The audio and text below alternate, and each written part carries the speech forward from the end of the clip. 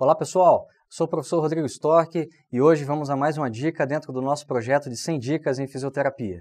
Hoje nós vamos falar sobre a insuficiência respiratória, né? os tipos de insuficiência respiratória.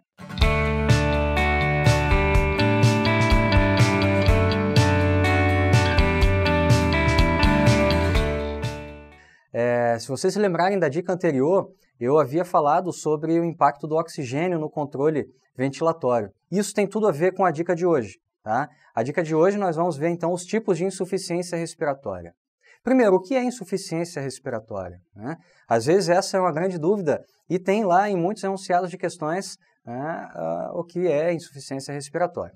Insuficiência respiratória é simplesmente a incapacidade do sistema respiratório na manutenção dos níveis adequados de gases no sangue. Quais são esses gases? CO2 e O2, ou seja, gás carbônico e oxigênio. Tá? Então, nós podemos ter variações tanto de CO2 quanto de oxigênio. Tá? Gás carbônico e oxigênio. Nós temos, então, insuficiência respiratória, quando o oxigênio não está em nível, em nível adequado e quando o, o CO2 também não está em um nível adequado. Só que a gente dá nome diferente para cada uma dessas uh, insuficiências. Tá? Eu vou botar aqui na tela a insuficiência respiratória que diz respeito às alterações de oxigênio e também o nome daquela que diz respeito à alteração de CO2, ok? Vamos aqui à tela. Nós temos dois tipos de insuficiência respiratória. A gente diz que existe a insuficiência respiratória do tipo 1 e a insuficiência respiratória do tipo 2.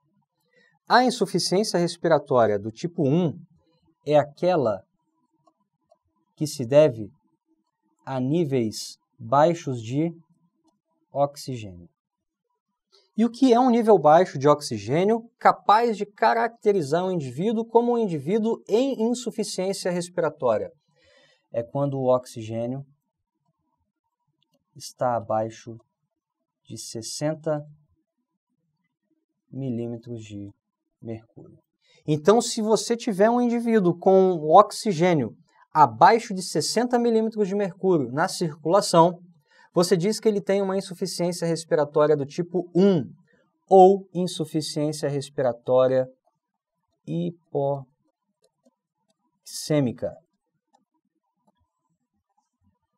Hipoxêmica.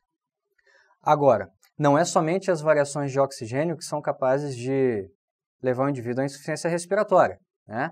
Existe um outro gás na circulação que, como eu falei na dica anterior, é o principal gás para o controle da ventilação, que é o CO2. Então, a insuficiência respiratória do tipo 2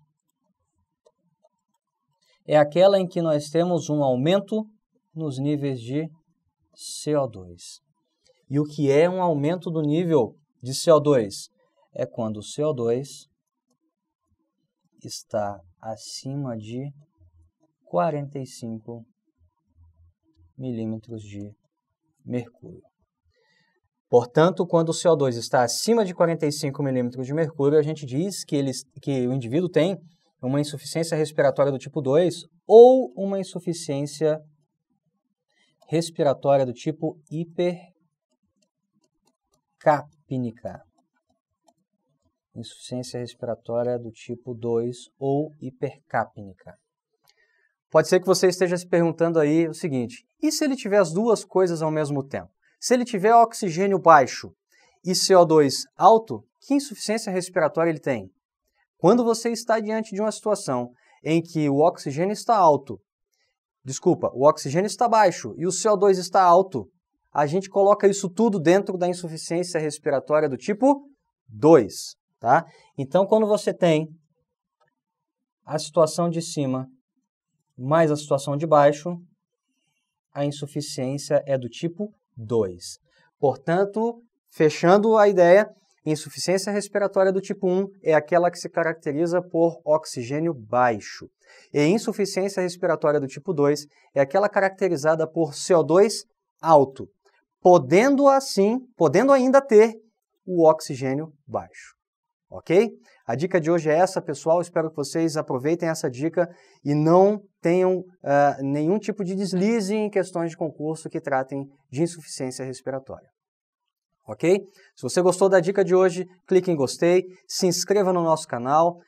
Tendo dúvidas, deixa aqui nos nossos comentários, faça o seu comentário, coloque suas questões, suas perguntas, suas dúvidas, que a gente responde a elas, ok? Compartilhe o vídeo com seus colegas e não deixe de clicar aqui em cima no i para você pegar informações acerca do vídeo, acerca do nosso canal e de outras dicas que nós estamos postando desse nosso grande projeto de 100 dicas em fisioterapia. Tá ok? Muito obrigado e até a próxima dica.